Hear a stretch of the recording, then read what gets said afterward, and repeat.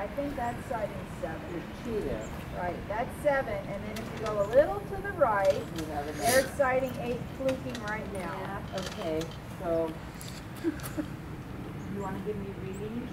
Uh, well, seven is at three oh six, let's call that seven or eight mil, eight mil. And then